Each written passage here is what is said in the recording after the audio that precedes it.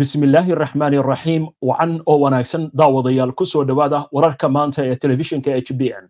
Waa khamiis toddobaiyo labaatanka bisha juulaay sanadka laba kun labaatan iyo saddex oo ku beegan sagaalka bisha muxaram sanadka kun afar boqol afartan iyo shan taariikhda hijiriyadda. Qodobada wararka ee maanta aan idiin hayno waxaa ka mid ah afgembiga military ee ka dhacay dalka niger. Maxay yihiin waxyaabaha la aaminsan yahay inay saldhig u yihiin afgembigan inuu ka dhaco waddanka niger oo ka mid ah waddamada ugu badan qaaradda afrika ee afgembiyadu ay ka dhacaan. Madaxweynihii waddanka xaggee buu ku dambeeyaa. Maxay tahay fariinta uu soo diray? Taliska guud oo ciidamada ee waddankaasi niger oo goordhoweyta hadlay waxa ay taageereen kooxda afgembiga fulisay. Xalay shir jara'ida oo ay ku qabteen xarunta telefishinka oo ay la wareegeen. Kooxda ciidamada afgembiga samaysay waxay ku caddeeyeen in waddanka afgembi uu ku jiro xukuumaddii la kala diray dastuurkii la laalay xuduudaha waddanka bad cir iyo dhul ay xiran yihiin. Waxay uga digeen caalamka in la soo farageliyo arrimaha gudaha ee dalka niger. Waxa kaloo ay sheegeen in bandow lagu soo regi doono guud waddanka kaasi oo bilaabanaya tobanka fiidnimo ilaa iyo shanta arooriyo. Waxa kaloo ay xuseen in la dhisi doono dowlad si deg dega madaxweyne banzum goordhaweyto fariin ayuu soo diray. Sidoo kale wasiirka arrimaha dibadda ayaa isna sheeganaya in dowlad sharciga waddanka ay ka jirto isagana madax uu ka yahay.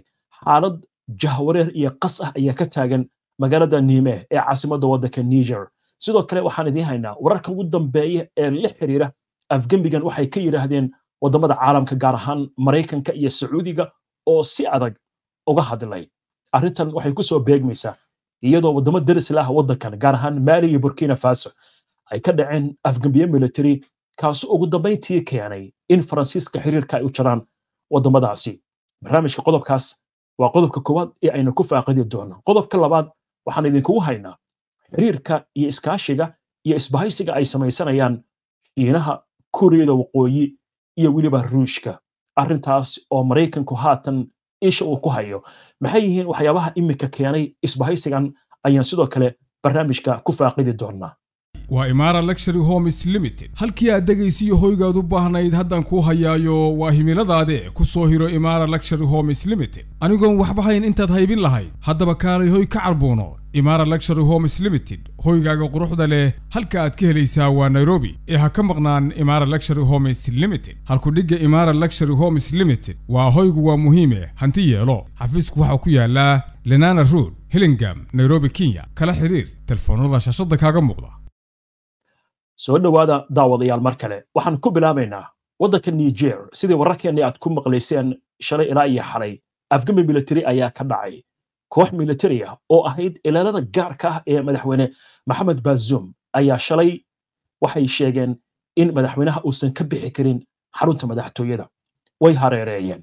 Waxaana ay sheegeen ugu dambayntii inay la wareegeen awooddii militariga iyo awooddii guud ee waddanka niger. Islamarkaasna madaxweynaha la geliyey xabsi guri.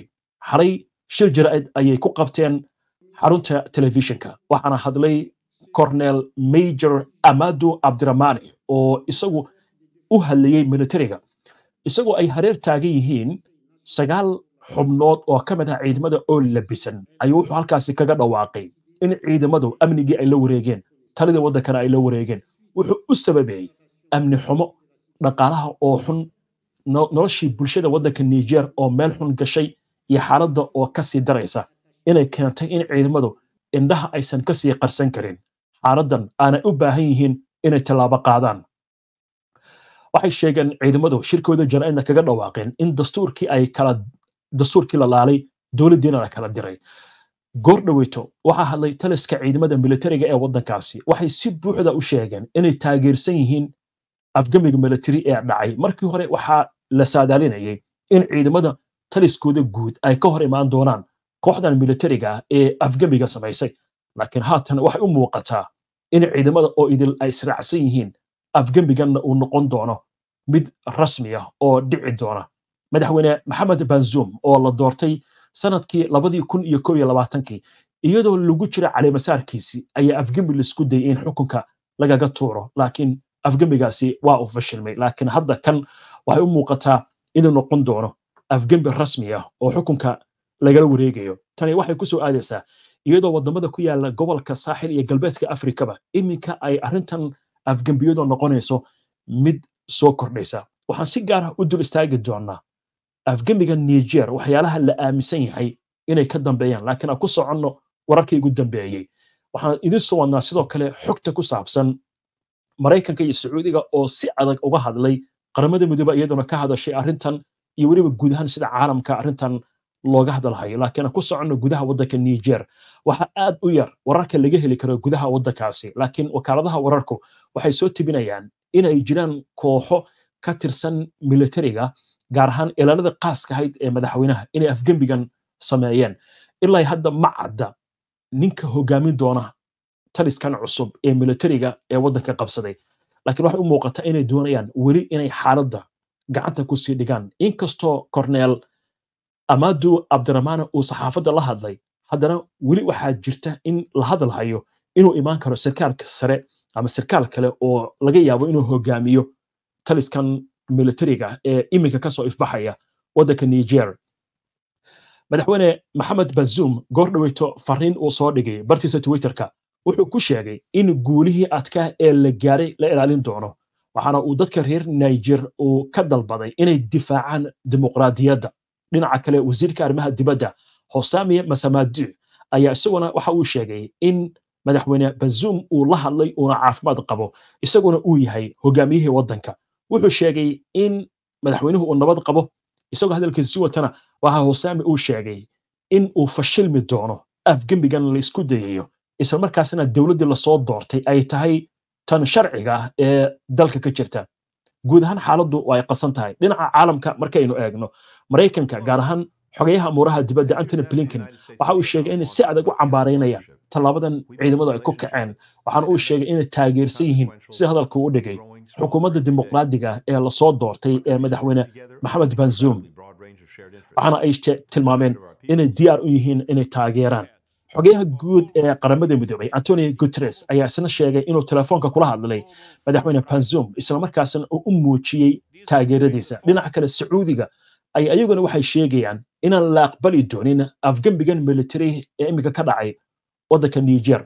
Haddaba maxaa u ah saldhig ayaa lays oran karaa afgembigan aan waxa yar dib ugu laabanno taariikhda waddamada ku yaalla gobolka saaxil ee dariska laha qaarkood waddankan oo afgembiye military ay ka aloosanaayeen. Aan ka bilowno waddanka maali labadii kun iyo kob iyo labaatankii bishii may afgembi military ayaa ka dhacay waxaana xukunka qabsaday corneel asimi gueta waddankaas markuu afgembigu ka dhacay isla sanadkaas waa bishii oktoobar waddanka guinea afgembi military ayaa ka dhacay. Corneel mamadi domboya ayaa isagana xukunka la wareegay.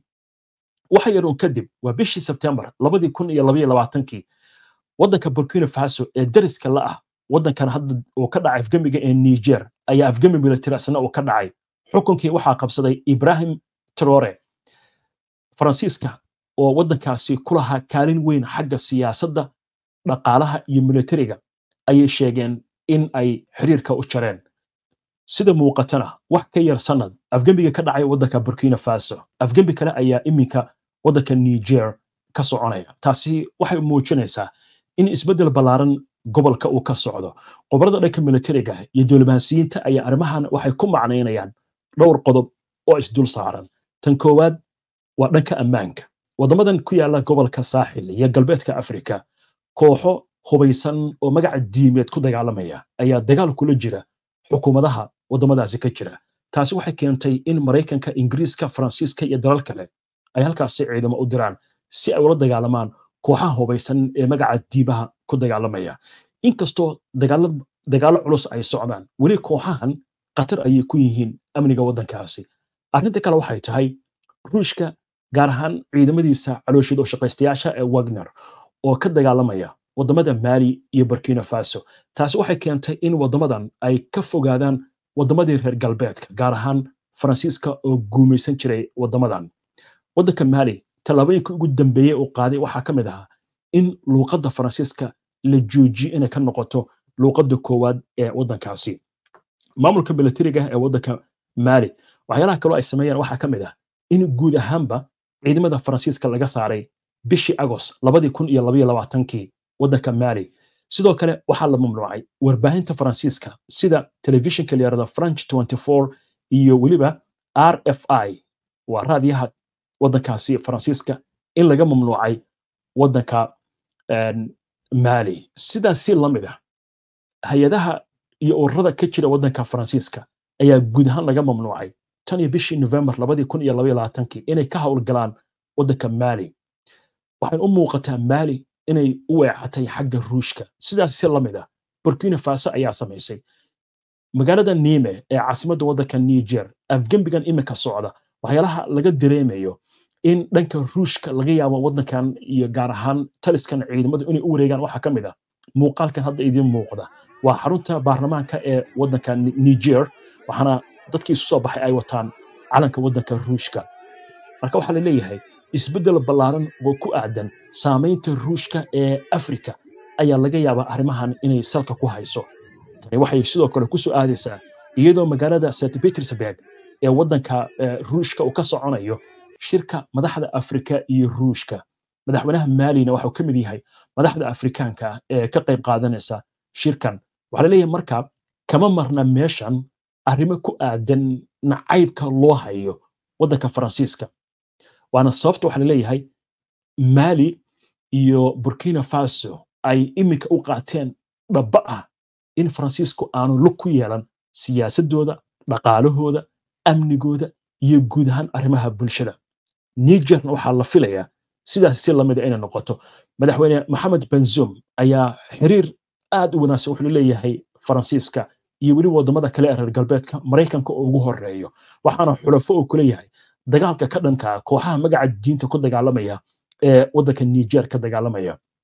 Wadamada gobolka gaar ahaan urur goboleedka ecowas ee galbeedka africa arrintan way cambaareeyeen waxaana ay sheegeen inay ka soo horjeedaan afgembigan imika socda. Laakiin waxyaalaha la isku haleynaya waxay ahaayeen taliska guud ee ciidamada waddanka niger maxay samayn doonaan? Ma taageeri doonaan kooxdan afgembiga samaynaysa? Mise way ka hor imaan doonaan? Sida muuqatana saacadihii ugu dambeeyey war ka soo baxay taliska guud ee ciidamada niger waxay ku sheegeen inay taageerayaan kooxdan militariga ah ee afgembiga ka samaysay waddanka niger. Marka waxay u muuqataa afgembigan in uu hirgeli doono waxayna u badan tahay kooxdan si la mid ah xukuumadaha qabsaday ama taliska qabsaday waddamada mali iyo burkina faso inay u janjeertaan dhanka ruushka. Taasi waxay ka macno tahay ayaa la leeyahay in ay soo laaban doonto quwadihii reer galbeedka iyo ruushka ee ku loolami jiray qaaradda afrika.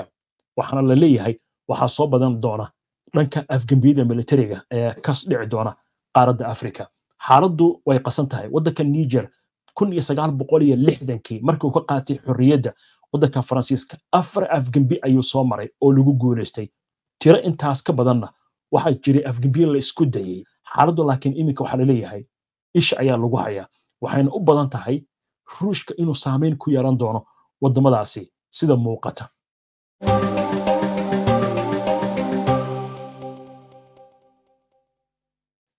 Iminkana aynu egno qodobka labaad ee barnaamijka waddamada shiinaha ruushka iyo kuuriyada waqooyi ayaa u muuqanaya inay samaysanayaan isbahaysi cusub oo la doonayo in lagaga hortago isballaarinta iyo sida ay sheegaan khatarta maraykanka ee gobolka. Magaalada pyongyang ee caasimadda waddanka kuuriyada waqooyi maalmihii la soo dhaafay waxaa ku sugnaa wafdi ka socday ruushka iyo shiinaha. Wafdiga ruushka waxaa hogaaminayey wasiirka gaashaandhiga sergey shaago. Dhanka shiinahana waxaa ka socday sarkaal sare oo ka tirsan xisbiga shuuciga ah ee talada waddanka shiinaha haya kulamo ayay waxay magaalada pyongyang kula yeesheen. Madaxweynaha ama hogaamiyaha kuuriyada waqooyi kim jong un arrimaha laga wada hadlina waxay ahaayeen sidii loo samayn lahaa isbahaysi lagaga hortago sida ay sheegeen khatarta maraykanka ee gobolka. Dabcan maraykanka jabaan iyo kuuriyada koonfureed waxay leeyihiin xiriir aad u ballaaran oo dhanka militariga tanina waxay ku soo aadaysaa iyadoo xiisad culus ay ka dhex caloosan tahay maraykanka iyo kuuriyada waqooyi. Kadib markii maraykanku uu u diray gacanka kuuriya markab nuuca gujiska ah oo hubka nuclearka xambaara taasi oo ahayd markii ugu horreysay tan iyo kun iyo sagaal boqol iyo siddeetan iyo kowdii ee maraykanka halkaasi uu diro markab caynkana. Kuuriyada waqooyi amuurtan aad bay uga hortimid laakiin kulankan iminka ka dhacay magaalada pyongyang ayaa waxaa la leeyahay arrimaha lagaga hadlay waxaa ka mid ahaa sidii looga hortegi lahaa xulufadan iminka ay wadaan maraykanka kuuriyada koonfureed iyo jabaan iyo khatar ka imaan karta haddii la weeraro kuuriyada waqooyi. Xogaha dhanka diblomaasiyadda ee la helayo ayaa waxay sheegayaan in shiinaha iyo ruushkuba ay u muujiyaan kuuriyada waqooyi inay garab taagan yihiin. Laakiin waxaa jira warar tilmaamaya in lagu wargeliyey inaysan habboonayn kuuriyada waqooyi xilligan inay qaado dagaal dhanka nuclearka ah si qaas ah ruushka ayaa amuurtan ugu wargeliyey madaxweynaha kuuriyada waqooyi. Sidoo kale waxaa loo sheegay kuuriyada waqooyi isbahaysi muhiim inuu yahay in la samaysto. Kim jong un hogaamiyaha kuuriyada waqooyi ayaa dhowr jeer waxa uu ku hanjabay inuu isticmaali doono hubka nuclearka isagoo leh maraykanka ayaa wuxuu nagu hayaa faduul iyo gardarro isagoo xadgudubna ku samaynaya hawada iyo badda waddanka kuuriyada waqooyi. Maraykanka arrintaasi waa uu beeninayaa waxaana ay sheegayaan in diyaaradahooda dhanka sirdoonka ay isticmaalayaan hawada caalamiga. Inkastoo kuuriyada waqooyi ay leedahay hawadaasi waxay ka koraysaa biyaha caalamiga ama biyaha u gaarka ah waddanka kuuriyada waqooyi. Xiisadan way culus tahay. Sidoo kale arrintan waxaa la leeyahay waxay ku aadaysaa iyadoo dhowlatus military iminka ay wado taiwan oo shiinaha ay kaga soo horjeedo isbahaysigan cusub ee shiinaha kuuriyada waqooyi iyo ruushka ayaa sidoo kale waxaa la aaminsan yahay inuu yahay in ruushka uu doonayo inuu furin kale ku furo maraykanka gaar ahaan dagaalka waddanka ukraine iyadoo xiisadda dagaalka waddanka ukrainena ay issii tarayso. Marka waxaa la leeyahay haddii ay dhacdo dagaal nuclear inuu dhaco in isbahaysigan ayaguna isbahaystaan sida maraykanka iyo xulafadiisa isku bahaysanayaan. Waxay sidoo kale tani ku soo aadaysaa iyadoo maraykanka iyo australia ay wadaan haatan oo maanta ay bilaabeen dhowlatus military oo culus oo ay ka qayb qaadanayaan ciidamada cirka badda iyo dhulka ee dalalkaasi. Guud ahaan dadka diblomaasiyiinta ee la socda xaaladda dhanka amniga ee gobolka la eshiyada fog waxay leeyihiin isbahaysigan cusub. Waa mid muujinaya sida ay u doonayaan waddamada inay ka hortagaan isballaarinta maraykanka iyo nato. Shiinahuna wuxuu walaac ka qabay in nato ay doonayso inay isku fidiso waddamada eshiyada fog iyadoo xarumo militarina ka samaysanaysa ama saldhigyo goobahaasi. Inkastoo maraykanka saldhigyo weligiisba ku lahaa goobahaasi. Wafdigan tegey magaalada pyongyang ee caasimadda waddanka kuuriyada waqooyi. Halkaasi waxay u tageen sida ay sheegeen iyagu inay ka qayb qaataan munaasabadda askartii kuuriya ee ku geeriyootay dagaalkii kuuriya kun sagaal boqol iyo kontonkii laakiin waxaa la leeyahay waxaa jiray kulamo gaar ah oo dhex maray hogaamiyaha kuuriyada waqooyi kim jong un iyo weliba mas'uuliyiinta ka socotay shiinaha iyo weliba ruushka. Waxaana sidoo kale la filaya in hogaamiyaasha saddexda waddan ay kulan yeeshaan. Ruushka wuxuu doonayaa in go'doonkan la gelinayo uu helo isbahaysi aad u ballaaran waana sababta waxaa la leeyahay haatan magaalada satisburg ay u kulansan yihiin madaxda qaaradda africa kuwaasi oo badankood diiday dalab uga yimid maraykanka sida ruushka uu sheegayo oo ku aadan inaysan ka qaybgelin shirkan laakiin sida muuqata in ka badan afartan hogaamiyaal qaaradda afrika ka socda ayaa iminka ku sugan dalka ruushka oo ka qaybgelaya shirkan. Marka ruushku inkastoo go'doon la geliyey dhinaca dhaqaalaha iyo cunaqabatayn haddana waxaa la leeyahay isbahaysi ayuu samaysanaya sidoo kale tani waxay tahay in niyadda loo dhiso hogaamiyaha kuuriyada waqooyi oo la yidhaahdo maraykan diidka iyo siyaasadda aad wadatid ee ka soo horjeeda maraykanka. Keligaa kuma tihid waan ku garab taagannahay ayay khubarada arrintanna ku macnaynayaan wixii warar ah ee arrimahan ay ku soo kordha barnaamijyadeenna ayaynu idinkugu soo gudbin doonaa haddii aan la idmo intaas ayaan ku soo gebagabeynayaa barnaamijkii wararka maanta ee telefishinka h b n waad ku mahadsantihiin daawashada barnaamijka. Haddii aad ku cusub tahay baraheena bulshada ama horey aadan ugu xirnayn ku soo biir si aad u hesho wararkan iyo xogahan aan soo gudbinayno waad mahadsantihiin waa inoo mar kale nabadgelyo hayaay hayaay hayaay waa imaara luxury homes limited. Halkii aad dhegaysiyo hoygaad u baahnayd haddaan kuu hayaayo waa himiladaade ku soo hiro imaara luxury homes limited. Anigoon waxba hayn intaad haybin lahayd haddaba kaalay hoy ka carbuuno. Imaara luxury homes limited hoygaaga quruxda leh halka aad ka helaysaa waa nairobi. Ee ha ka maqnaan imaara luxury homes limited. Halkudhigga imaara luxury homes limited waa hoygu waa muhiime hanti yeelo. Waxaana ay guryaha ka dhistaa magaalada nairobi gaar ahaana xaafadda backlands city bark drive. Dhismaha koowaad waxa uu leeyahay adeeg kasta sida goobihii cibaadada masjid qaada toddoba boqol oo qof jiim ama goobaha jirdhiska oo rag iyo dumar u kala soocan. Dhismuhu waxaa kaloo uu leeyahay koronto u gaara baarkinka gawaarida oo elektroniga kaamarooyinka ammaanka ee c c t v. Qolalka dhismayaashu waxay ka kooban yihiin laba qol iyo fadhi saddex qol iyo fadhi afar qol iyo fadhi ama shan qol iyo fadhi. Guri kastana waxa uu leeyahay qolka shaqaalaha guryaha waxaana dhisaya shirkad turki ah. Dhismuhu waxa uu leeyahay madaaris goobaha dabaasha oo rag iyo dumar u kala soocan kafateriya subermarket farmasy goobaha carruurta ku ciyaaraan ambulas ama dhakhtar xaaladaha degdega ah. Habka lacag bixintu waa hab sahlan waxaana hadda socda barnaamijka sagaashanka maalmood ee ku eg soddonka bisha sebteembar ee la magac baxay hoygu waa muhiima hanti yeelo kaasi oo ah qiimo dhimis kala bar aad guriga aad doonto ku iibsanayso. Sidoo kale waxaa jirta fursad kale oo lacag bixintu tahay afar sano oo bilaa dulsaara wixii faahfaahinoo dheeriya waxaad kala xidhiirtaa telefoonada imara luxury homes limited. Xafiisku waxaa ku yaalaa lenana road hillingam nairobi kenya. Kala xiriir telefoonada shaashada kaaga muuqda